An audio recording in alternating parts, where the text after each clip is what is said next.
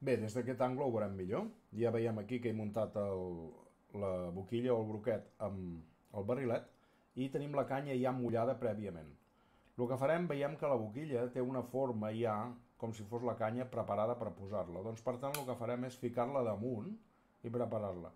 La canya es té que ficar molt centrada, és a dir, això estaria descentrat, veiem que està torta, i aquí també estaria descentrat. Per tant, l'hem de centrar amb les guies que porta una mica la, la mateixa boquilla o broquet.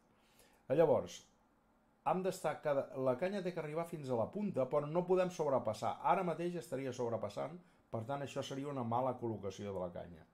Veiem que de la punta se passa de la, de la boquilla.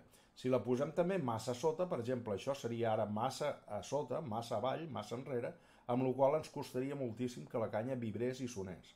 Per tant, té que estar pràcticament a la vora de la, de la punta de la boquilla i deixar que només que es quedi una miqueta de eh, filet negre. Veieu que queda un filet negre, és a dir, el filet de la boquilla.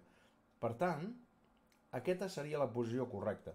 Veiem que a més a més ara està centrada, doncs jo l'aguanto, normalment l'aguanto amb aquest dit polze, i ara és quan agafem la braçadera o braçadora la tenim que eh, afluixar molt perquè pugui entrar fins sota de tot, per tant, afluixaré la braçadera, i amb molt de cuidado de no tocar la canya, perquè si ara toco la canya aquí la trencaré, ha de passar la braçadora pel mig i entrar-la fins passada la línia aquesta que tenim aquí de la canya. Hi ha un, com una línia. Una vegada està ja subjecta, veiem que la braçadora subjecta la canya, el que farem és apretar una mica un tornillo i l'altre.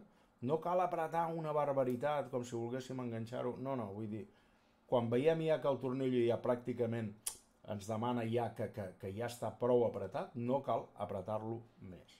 D'acord? Aquesta seria la col·locació correcta de la boquilla amb la canya.